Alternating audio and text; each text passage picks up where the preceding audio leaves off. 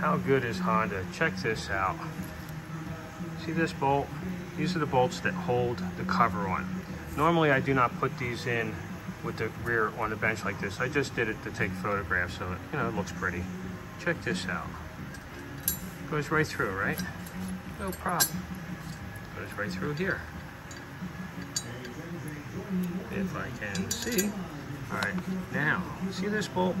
This one is one of the oddballs. You have two, one, two long ones and then eight short ones. Check this out.